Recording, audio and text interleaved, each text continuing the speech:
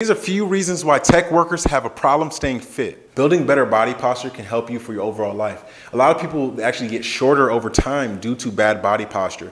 Once you begin to stretch and utilize pliability and utilize stretching and bend, making sure that you're doing functional movements every day to improve your body posture, that's gonna help you actually lengthen your spine over time and help you with your overall health. If some of these tips help, I want you to go ahead and comment down below tech fit because if you're a remote worker that's struggling to stay healthy and you wanna be able to improve your overall health journey, go ahead and comment down below. And make sure you share and follow my page for more tips.